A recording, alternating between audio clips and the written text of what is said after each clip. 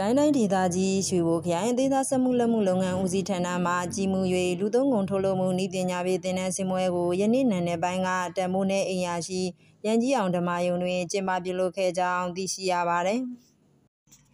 သင်တန်းစင်ပွဲတွင်ခရိုင်ဒေသစက်မှုလက်မှုလုပ်ငန်းဦးစီးဌာနလက်ထောက်ညွှန်ကြားရေးမှူးဦးမျိုးထမောင်ကတင်နန်းတယောက်သူများအနေဖြင့်တနန်းတစ်ပိုင်းပြုလို့သုံးဆွဲခြင်းဖြင့်မိသားစုအိမ်သုံးစရိတ်လျှော့ချနိုင်စေရန်ရည်ရွယ်ဖွင့်လှစ်ပေးခြင်းဖြစ်ကြောင်းပြောကြားခဲ့ပြီးစားသုံးသူရေးရာဦးစီးဌာနခရိုင်ဦးစီးမှူးကတင်နန်းခြင်းလက်မှတ်များအားပေးအပ်ပြီးပြန်ကြားရေးနှင့်ပြည်သူ့ဆက်ဆံရေးဦးစီးဌာနလက်ထောက်ညွှန်ကြားရေးမှူးက တင်နန်းထွက်ကုန်ပစ္စည်းများပေးအပ်ရာတင်နန်းသူတအူးကကျေးဇူးတင်စကားပြောကြားခဲ့ပြီးအမတ်တရစုပေါင်းမှတ်တမ်းတင်တပ်ပုံရိုက်ကူးခဲ့ကြောင်းသိရှိရပါတယ်။